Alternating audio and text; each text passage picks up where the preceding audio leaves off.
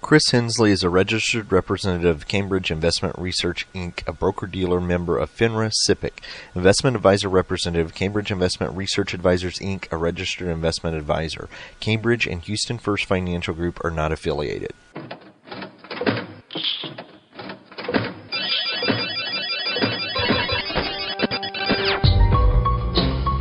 The Houston Midtown chapter of the Society for Financial Awareness presents Money Matters with your host, Christopher Hensley.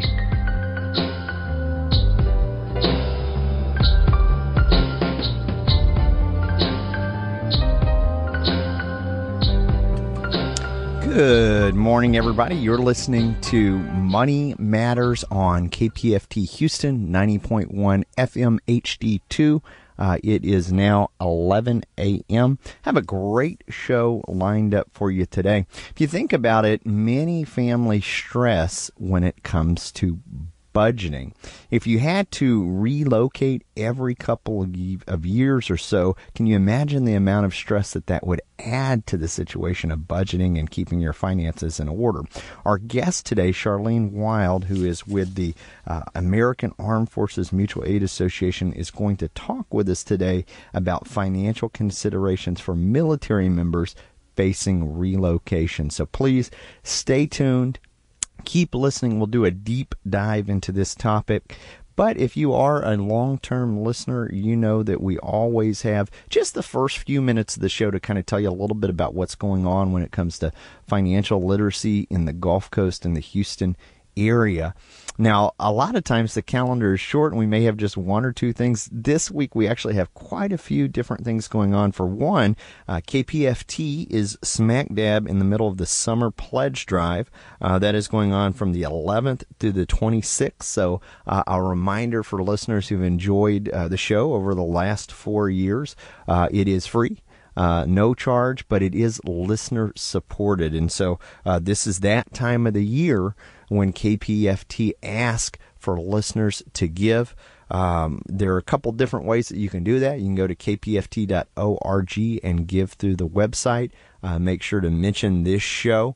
Uh, but we also have a local fundraising event coming up on Sunday, or let's see, it's on the uh, 22nd, so that is this Sunday.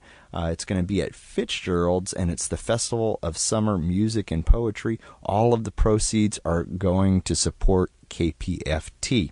Uh, with that, just a few things, uh, other things that are on the calendar as well. Uh, this week on Monday, we had an estate planning seminar out at HISD. Uh, we will be going back there on the 25th for investment basics. Then on Saturday, the 28th, we're doing optional retirement planning. This is free and open to the public. Uh, however, it is a uh, kind of a deep dive into the retirement plan for public educators, uh, people who are part of the state uh, retirement plan. Mm, talk about Social Security, Medicare choices, kind of a little bit about what's going on in the market right now with the volatility and what Fed rate interest interest rate hikes mean uh, to your retirement. And then we will be out on the 31st at SMB Engineering talking about financial basics. So, with that, uh, let's go ahead and get Charlene on the line here. Charlene, are you there? Absolutely. Thank you so much for having me on today. My name is Charlene Wilde, and um, I'm an assistant secretary here at AAFMAA. Um, but I'm also a um, a proud veteran and a military spouse for um, over 16 years. Um, I have um, been there and done that with our family throughout the years, uh, both as a spouse and a veteran. And um, I'm happy to be here today. Well, thank you for, for joining. Now, now we had uh, some. Uh, we actually had Mike Meese from, from American Armed Forces Mutual Aid Association last year, I believe, and so this is good to kind of get an update with what you know with what's going on there. Uh, but for listeners who aren't familiar with your organization, can you tell us a little bit about the organization? Sure. So the American Armed Forces Mutual Aid, we've been around for um, over 139 years. Um, we're the longest standing nonprofit um, we offer life insurance, mortgages, investment management um, for military families and their veterans, and and their and veterans, and only for military. Um, we offer financial goals and planning. Um, and what's really amazing is that you know 42% of all of our employees are veterans themselves or military spouses and families. So it's veterans helping veterans be financially successful. And and you mentioned earlier that you yourself are a veteran and that you've had to deal with some of these situations such as relocation, and so you're unique, uniquely in a position to to give us some some advice as far as how how does one. Let's start with that. How does one uh, handle a budget when you you've been tasked with having to relocate? well, it's it's definitely a learning process. Um, as as I was a when I was in the service myself that it was pretty easy. It was just myself. Um, but as I as I was married and we have children, that the first one that we had, we really were kind of clueless on how to save and how to plan and how to move successfully. And so, as through the years, we have learned that you know we have a, a set um, account that we just save into so that we are prepared for any kind of bumps on the road and prepared for this overhaul of your whole lifestyle every two years. So really, kind of having that safety net put aside and that that um, cash reserve of three to six months of in case something does happen uh, that would kind of throw you off of your budget as well. Absolutely, those things can really throw you off on your budget. It definitely takes uh, perseverance and planning for the unexpected, as with anything in your life, but especially when you're planning a huge family move, it really does you well to have a savings plan and to stick to it every single month. Because one of the beauties of being able to relocate in the military is that you really have kind of that, that reset button so you get to restart your financial decisions every couple of years. I mean, the most American families that don't move all the time don't have that amazing opportunity to reset constantly. So that's a good way to look at it because you mentioned uh, people, you know, being disciplined about setting, saving, and putting your settings aside. But looking at that uh, that relocation as a chance to reset. Uh, to get focused again back on the savings plan and really sticking to it and, and, and, and saving every single month. Tell us a little bit about just the idea. I know one of the things that people uh, one of the very first things that people talk about when they're getting their, their financial act together uh, is uh, buying real estate. Uh, how do you how do you even approach that if, if it's the the possibility that you're going to be uh, moving every couple of years or so? Well, there's a lot of factors to consider when uh, when you are constantly in this moving cycle of you're constantly faced with that decision of am I going to rent or am I going to buy? um, which one is it going to be, which one is most cost effective for me. And as you research into the new housing market, that you have to decide that every single time you move. And so the process of buying that you want to pitch yourself, am I going to be in this area for a long term? Am I do I see myself settling here after we're out of the military? Do I want to come back here and live forever? And with this is a strong rental market if I do decide to purchase this home, is there a strong rental, rental market outside of just the base? Because just in case that base closes, am I going to be stuck with this home and no one going to live in it? Or I forced then to make a decision to move back there? And there, thankfully, there's a lot of resources that are there to help you research that area. Because, um, for instance, I know one time I we were living overseas in Korea, and we were moving back back to the stateside, there was no way that I could take advantage of the of the of the opportunity to come back and do house hunting when I'm overseas. I just wasn't feasible for me. So there are a lot of um, assistance now that can help military families find, do your house search when you're not there. Um, and so those are military-friendly realtors um, that you can find at you know GoMillie.com is a wonderful resource but as well as um, mortgage. Um, part of AAFMAA, we have a subsidiary that's a mortgage service, and we also have a tab on there for relocation services that are is an abundant resource to provide um, help for families to do that research.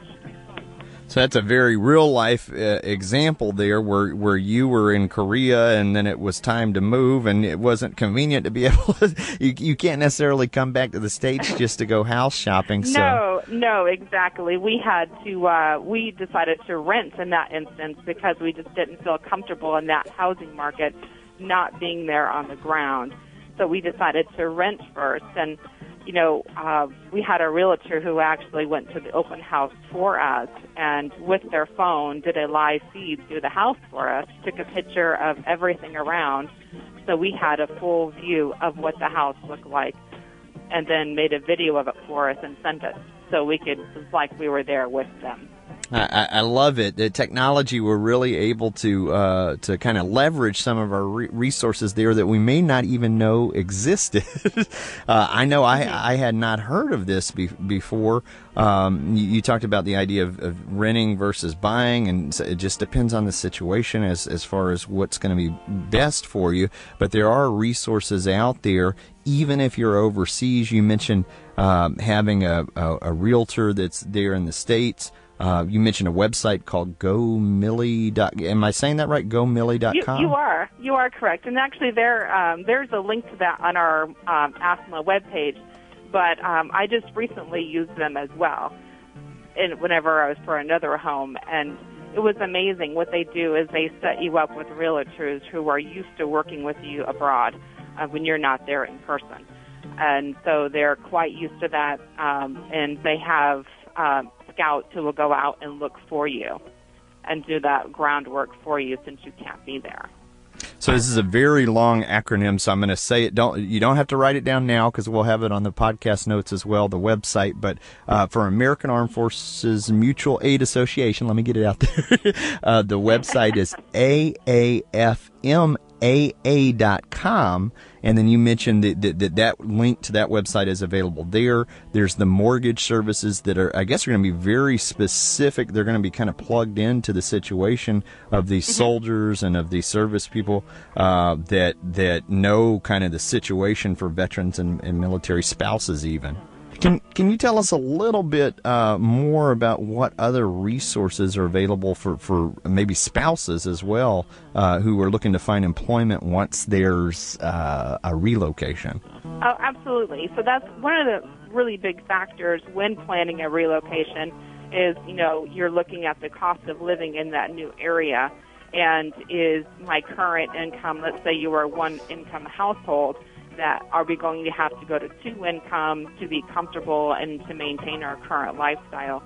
And you know, military spouses often, you know, that we're stuck in this um, this cycle of you have a job at one location and then the next location, you know, is like, oh, is it going to be there or is it not? And there's a lot of opportunities for transient um, employment for spouses now, but what if that's not your career field and that's not for you?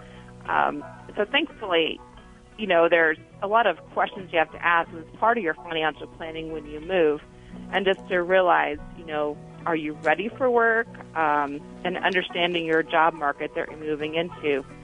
And thankfully, you know, many of the major installations now actually have a military spouse employment office that will um, have all the resources for you to help you find that new job. They have job fairs available um, as well as resume help if you need it. Um, and many face, Facebook pages as well for each installation usually have a military spouse uh, career uh, page that you can go on there and people post, um, you know, job opportunities in the area. We, we started out talking about budgeting tips, and I, and uh, this is something very specific. Can you imagine trying to keep your budget on track, and then the idea of I, I don't know if I'm going to have a paycheck when I move uh, yes. is, is part of the equation there. Um, you, you talked about the, the resources available for those spouses that are looking to, to have a new job, uh, that, to kind of know the job market that they're moving in, uh, but there are resources available to help them do that. Um, and so these are these are unique roadblocks to, to families that are really in transition from, from the move. Can you tell us a little bit about what do you think some of the, the biggest roadblocks are for, for service people, uh, service members, family members of, of service members uh, who are uh, trying to keep their financial uh, house in order? What are some of those biggest roadblocks for them? Uh, the biggest roadblocks, as we as we just said, was the you know some of the insecurity of uh, of income. You know, myself, I was I was a after I got out of the military, I was a stay-at-home uh, mom for 11 years and took a big break, and then went joined in the workforce when it was time for us. Um, but financially, it's you know something you have to just kind of constantly we're we're gauging of um, sometimes it's by location of how much is going to be coming in, you know, for that time, and will we have um, supplemental income or not? The cost of living, you know, per area is different um, per location. So it's just constantly that reevaluating, and as I said before, constantly resetting your finances uh, per location. So again, I, I, like that idea of, of taking a reset point, and and uh, if you even if you've got a concrete uh, financial plan in place, you've got your spending plan, you've got your budget working, um, but then you have to relocate. Uh, taking that as a reset, a positive way to look at it, to, to go back to make sure you're doing the things uh, that you that you plan to do, but then to also uh, take these new issues into consideration. Exactly. You know, it's you know a lot of times you know um, it, it's all in your mindset, and if you have the positive mindset that this is going to be a positive thing for us, it really bleeds through into everything else. You know, the word you know move can cause cringe, and it can be a very negative thing.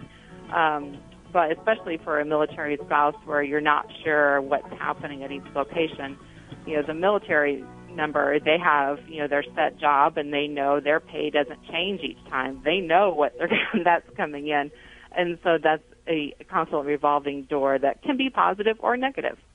I've, I've heard about here, here in Texas, we've done, uh, in in Houston, but more specifically in San Antonio, uh, there's been legislation passed where we've we've kind of taken a stance against payday uh, lenders who will kind of predatory set up around uh, military bases and, and target soldiers because they know that they have a consistent paycheck coming in. Have, mm-hmm. Can you speak to that at all? Have you seen that? Um, is that discussed with the American Armed Forces Mutual Aid Association?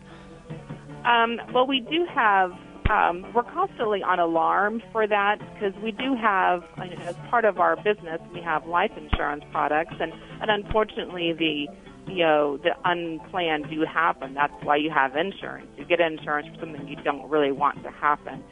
But, you know, sometimes it is a younger person, and then we do um, constantly, you know, advise some of our, our young widows that we have that, you know, to, that to be aware.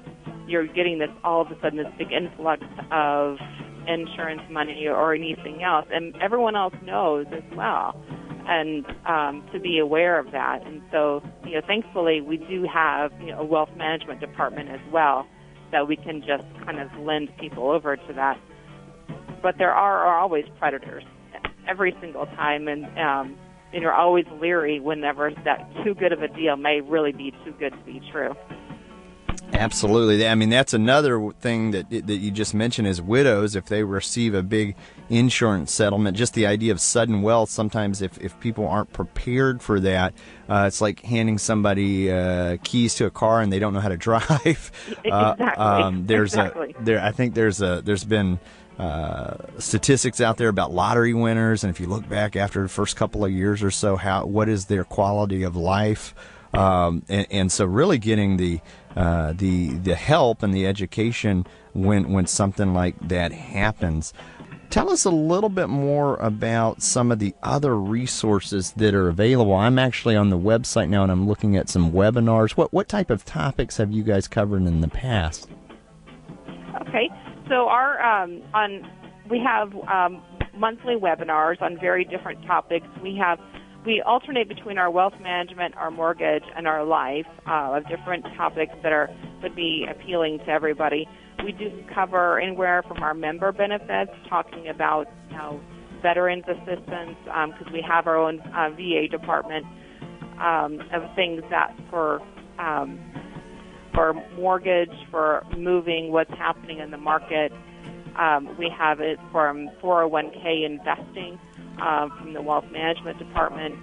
Um, we try to cover all bases of every aspect of a military life because, once again, we're veterans ourselves too, and we understand the transient lifestyle and different stages of a veteran um, and military member's life. So, right now, we have had several webinars uh, just recently about uh, VA benefits and uh, survivor benefits for families um, life insurance claims. What do you do with that claim? And so those are the kind of topics that we often have in our webinars. So I, I love this because it's very, very specific. A lot of the things that that we touch on when we talk about uh, financial wellness is are very general. So a lot of the ideas would apply. They're they're very good. But when you're working with soldiers, um, we talk about the you know military pension, uh, even even the mortgage side. There's the VA benefit. It, it's all very uh, specific. So it's it's nice to have a resource like this where uh, if you have questions, they're they're not their eyes aren't going to glaze over and they won't know what you're talking about. Uh, the, the, the people that you guys are talking to are so it's every person that you're seeing are, are are dealing with the same situation. So this is the right place to ask those questions uh, out there. I'm looking at VA dependent claims. Um, five military home buying must dos. That's something that we just talked about uh, earlier when it comes to relocating. Um, what other what other tips do you want to let listeners know when it comes to uh, being a service member and, and controlling their finances? Um, well, I I think I heard you correctly. Um, when it comes to finances, any other um, trips, any any last tips for moving? Is that correct? I'm sure that any anything that, that would help them in as far as the finances. So I, I guess the the any other things that I would have to say would be um, for if you're if you are relocating, um, that to make sure that the, everyone is involved in this planning process, um, that you have everyone on board, the whole family, even children. Um, it's amazing to me how much they really do have to say and what they want their voices to be heard. And if you want everyone to be excited about a new relocation, um, you know, you can plan everything together. And to be honest about your budget, what we have, um, and to be honest with everybody, to, to, to plan, to be honest, and um, and use what resources are completely available to you on that base technology is amazing. All of those things are, are really good, uh, and and not leaving out the rest of the family when you have this discussion about uh, about possibly moving, about relocating. Uh, sharing that information with the family, the budget, uh, utilizing those resources that are available to you. Uh, well, we're, we're we're getting close to the end here. Uh, is there anything that I haven't asked you that you would like to let the listeners know? Um, that um, that you know that um, the AAFMAA is a wealth of resources. Um, we and like I said before, we are you know veteran owned and run. Um, and if anyone has any questions about um, just about military life in general. Um, I forgot to mention that we do have a Spouse Link page as well, and Spouse Link is a online forum for military spouses um, to, op- talk openly about different topics. Um, but all of our subsidiaries and all of our off pages can be reached at um, aafmaa.com, which I know the link will be on your page and we would love to chat with you there. Absolutely. So that's a great resource for spouses, Spouse Link, and it's a forum. Uh, Charlene, thank you so much for being on the show, and, and have a great weekend. Thank you so much. You do the same. And you have been listening to KPFT Houston. Thanks for listening to today's episode of Money Matters Podcast. If you enjoyed the show, visit us on the web at www.moneymatterspodcast.com drop us a line on SpeakPipe on the right hand corner. Uh, it will receive any voicemails, questions, thoughts, concerns that you have about the show. In addition to this, we recently launched a Patreon campaign. Click on the Donate Now tab to hit the tip jar and find out what Patreon's campaign is all about.